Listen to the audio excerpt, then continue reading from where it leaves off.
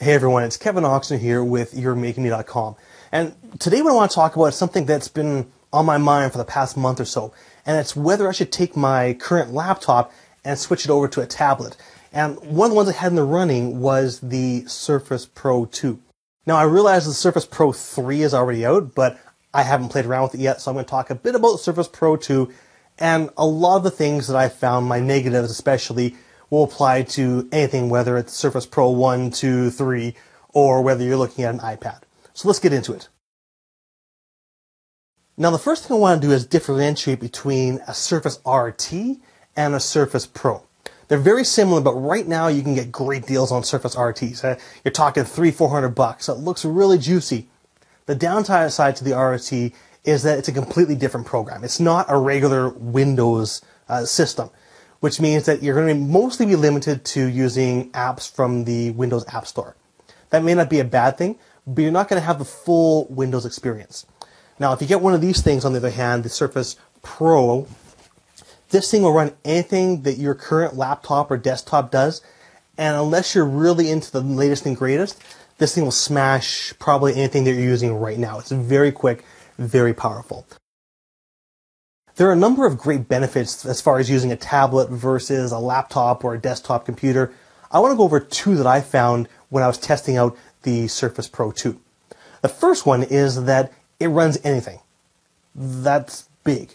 Because one of the most frustrating things I come across, or I'll say, this is a great program, I love it.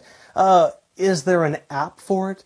Oh, there is one for Android but not for iOS, or vice versa, and this and that. And listen, if it works on your laptop already, if you have a Surface Pro 2, pow, it works instantly.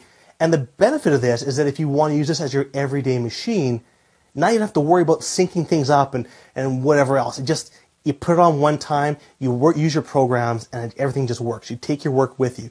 The second thing that really sells it for me is the fact that it's got this right there. It's really hard to see. You probably can't even see it, but it's a USB 3 port. That's huge.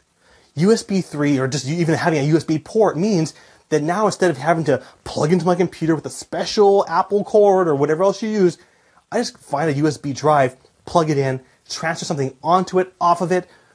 It just it gives me options. If I have a USB hub, now what it means is I can take that, plug it in, and now I can plug in a full-size keyboard, a mouse. I can plug in several monitors, and it helps me be productive. And when I'm done, all I need to do is just grab this thing, unplug everything. I can even take off the, the keyboard, pow, and left with a regular tablet. That is awesome. Portable, and it works.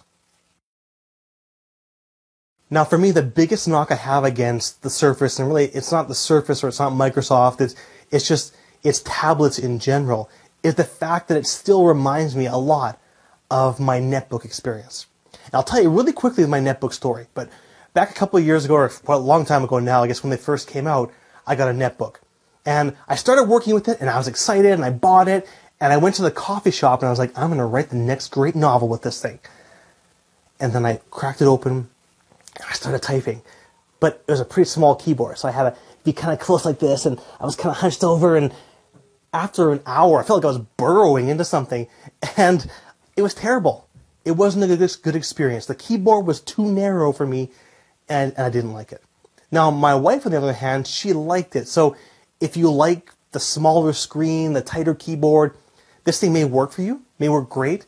For me, oh, I hate to say it because I don't want to say, give me a bigger screen. I don't, I, am not saying I, I want a, a 20 inch tablet to lug around because then it's not a tablet anymore, obviously. But I feel like I need something uh, just a little bit wider so I can have a little bit wider keyboard and just have a, a, little bit of breathing room. So I don't, I don't feel like I'm, I'm all hunched over and, and like an animal burrowing into the sand, uh, trying to get things cleaned up. I was really cheering for the Surface because I figured that was going to be as close as I could get to having a computer in my own hands. And I love the idea. Just, it's a little too cramped. Yeah, you know what? I could get like a folding keyboard or a rolling keyboard and I, I don't want to be that guy at the coffee shop that's got, you know, 8,000 things set up and like, my whole desk set up when I'm out in and about. I want to be able to walk in somewhere, open it up when I need to, and just be able to work. But I also want to have the power so when I come home, I can plug in a hub, get things ready to go, and just go from there. Oh man, it's tough. I really wanted to have a, a tablet slash laptop to be walking around in and, and just having something nice and thin and portable and looks cool. There was a couple of things that just drew me back just enough that make me want to go ahead and get another laptop. But I guarantee in the next year and a half or so, if I look at this again, I'm probably going to be going with something like a Surface Pro where it's got the power of a laptop. It would have USB ports and something where I can plug it in and make it part of my home system, but also strip it all off and take it wherever I want to go and just have a regular tablet. So there you go. That's my take on the Surface Pro. Really powerful, great functionality. You can use it for anything you want, any programs you want, as long as they're window, you can put it on here. Couple of the limitations for me, it feels, again, cramped. If you're okay with that, don't worry about it. Uh, this one here, the, the version I have is only 64 gigs.